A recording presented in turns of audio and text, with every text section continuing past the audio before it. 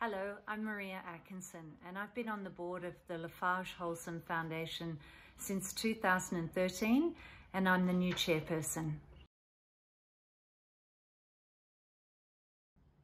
The world has realised there's an urgent need to address the environmental and social issues.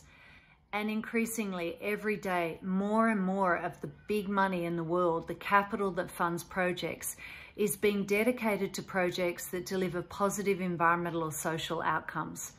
We still need examples of best practice, exemplary ideas and innovations in our projects, but we have so many wonderful examples of what's possible that we can just get on with, get to scale and deliver the transformational change we know is really needed.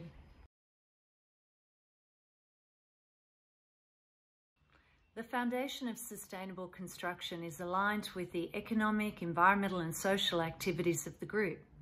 The group produces more sustainable building materials and services and the foundation shares innovation, new learnings uh, and examples of best practice projects, particularly at the planning and design phase. So across the entire value chain, we're represented with the foundation and the group activities.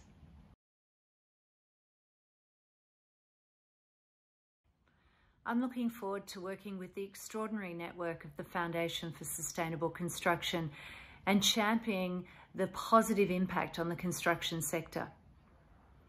I also think it's important that we put a spotlight on projects and ideas and examples of innovation and new ways of thinking and encouraging our next generation of leaders to show us a way forward to lead to a more sustainable tomorrow. I'm looking forward to the jury meeting where the Global Award winners will be selected. Later this year, we'll be handing out the awards for the regional winners and the global winners. Uh, I'm super excited about the um, forum that is being planned for 2022 in Sao Paulo in Brazil and it will be looking at the role of digitization and making the construction industry more sustainable.